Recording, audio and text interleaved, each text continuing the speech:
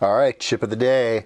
I have a little uh, little box here full of chips, and uh, uh, I took them off the reel. I like to store them in these little boxes. These little boxes are for um, bead craft. If your wife does beading, you can go steal these little boxes from her. Um, uh, I think you can get these at stores like Michael's or Joann's or something like that. So anyway, I like them. They're like a a, um, a mint box. Uh, they have a little a little flip open tab and you can shake out your mint.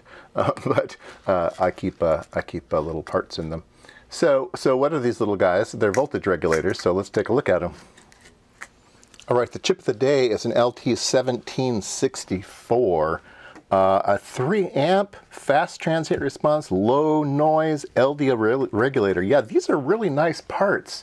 Um, I haven't used them before. Um, like I said, I kind of got a, a, a, bunch of parts for free. Somebody gave them to me. And um, I went to look up the price on them, and they went $10 each for these things. So, yeah, they ain't cheap, cheap at DigiKey at least. Um, so, uh, but they, they are pretty spectacular parts. So let's take a look at the, uh, the data sheet here. Uh, 3 amp.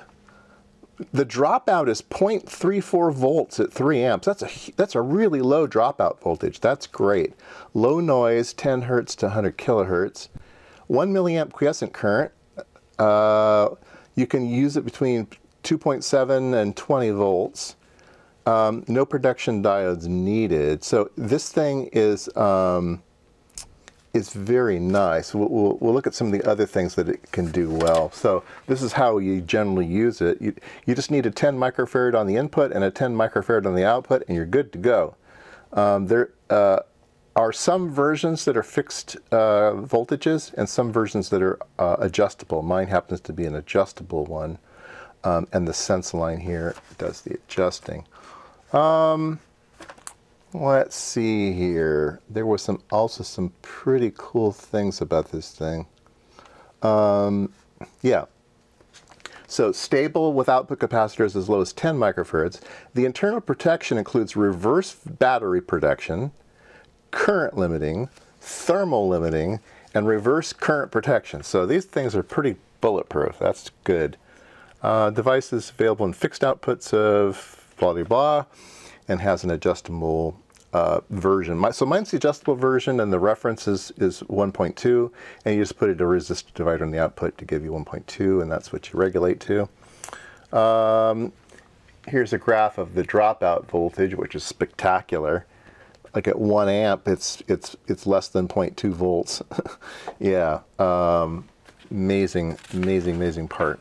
Real nice low low ohm FETs inside these things. Now, if I were going to buy these things and keep a, a bunch of them, I would want to get uh, uh, I would want to get a, a, this package. It's like a TO220 but with five pins. Um, and this would give you that full three amps, be able to hook it up to a, a heat sink and everything. That'd be great. These things, these things seem to be hard to find. You can get lots of these, which are the same version but with a solder down tab. But this is harder to put a heat sink on. So I sort of like these guys, but you know, they do have a low ohm resistance, so maybe they don't get too hot. I'm not sure. But the ones that I have are these little guys. These are a um, SO, uh, T, TSSOP, TSSOP 16. So yeah, they're they're little fine fine leads, um, and uh, so you have ground on all, all four corners. You have three lines of output, three lines of input, there's a, a, shutdown pin that goes into that one microamp or whatever it is, and then there's the sense adjust line for the uh, the other one. Yeah, so really really cool stuff. Um, yeah, so let's uh, let's hook one up.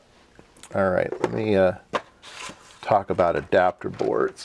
So I have some adapter boards for SM SMT work, SMD.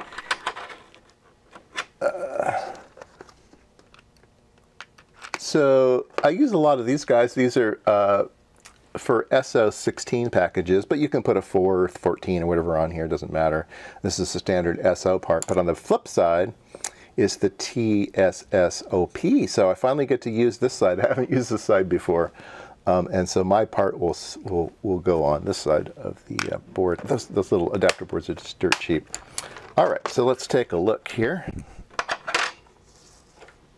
All right, so I have the part here, uh, 10 microfarad on the input, 10 microfarad on the output. Um, and so currently I have some divided dividing resistors. I think I have a 2K and a 5.6K, mm, whatever those are going to give me. But some some some reasonable ratio. We'll figure out what that voltage is. But um, uh, there is a formula in the data sheet on how you calculate the correct formula, uh, the correct value for the voltage that you want on the output.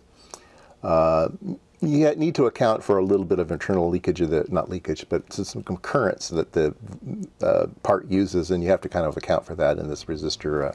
Well, here let me let me just show you the formula. Okay, so it's it's right down here. Um, you use this re resistor divider R2, R1. You do need to be aware that R1 you need to have less than 4K. Um, and I started out with like a 10K there, and it wasn't really working well. I couldn't figure out why, but the data sheet says this one needs to be less than 4K for it to work properly. But here's the formula.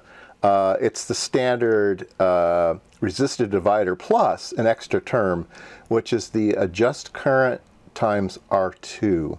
And the adjust current is 3 microamps, so it's not a lot, but if you want to be accurate, you can throw in that 3 microamps in there and uh, make it a little more make it a little more accurate. But we don't care today, so let's go ahead and hook this thing up and see what kind of voltage we get out. All right, let's put some voltage on the input, and our resistive string is giving us uh, 4.61. Uh, and um, I'm inputting seven and a half volts. So let me take it up. I'm now inputting nine volts, and let me take it down I'm now inputting 6.6 volts, and you can see that it, it, doesn't really matter. We could take this thing all the way down to, let's see, the should be able to take it down to 5 volts. Yeah, 5.4, 4.7. Yeah, look at that. Man, that's a low dropout regulator. Okay, uh, so I do have load on it. I have an LED and also have a 220 ohm resistor. So 220 ohms, so 20 milliamps um, you know, nowhere near the one amp, but I just wanted to put some load on it so we, we can watch its regulation. But yeah, there you go. And like I said, this little part here is not going to do three amps, you know, but for the robustness and the um, uh, uh, size and everything, I think it's a, it's a nice board for some, some projects I have in mind. So thanks to my friend for giving those to me. Gave me a bunch of stuff his company was throwing away. All right. So that was uh, chip of the day. It was a uh, LT1764 adjustable 3 amp. Yeah, get them in a little shaker box.